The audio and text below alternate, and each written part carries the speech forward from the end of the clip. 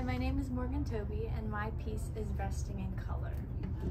Um, this piece is in acrylic paint and on canvas and I used a palette knife. This is the first time I ever used a palette knife and I use paintbrush as well. Um, uh, we were studying color theory in class so I picked tetradic colors um, and I picked like contrast between her skin and the background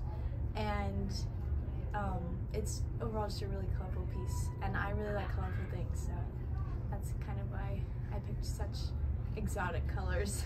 The hardest part in creating the piece I think was the time it took me to do it.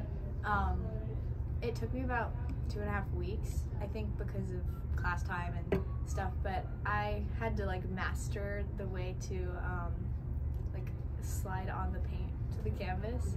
It was, it was really hard. Also colors. I had to match all the colors with the background and the girls. I was looking at Pablo Picasso's work and like the way he used color and people and personally I really like draw, uh, drawing and painting people so um, I used a self-portrait of myself and I just kind of copied it from the picture. Well, the title is Resting in Color, so I kind of came up with the meaning like she's kind of resting and that her life is really colorful and happy and joyful and that she can find peace and the happiness that she has with people and experiences that she's had.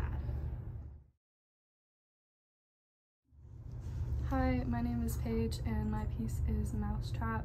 Uh, it was a short story assignment for my creative writing class and I based it on social anxiety.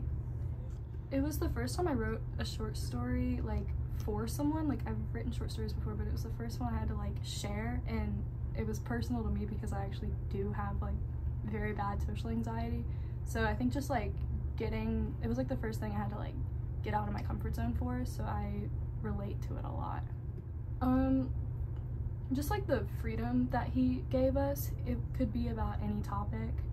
Um, so just being able to like create everything about it and not have like a specific set of guidelines for it. Yeah. Uh, yeah, I am happy that it's being shared with people because I think, especially in high school, like anxiety is a big factor just in everyday life. So I think it's pretty relatable with that.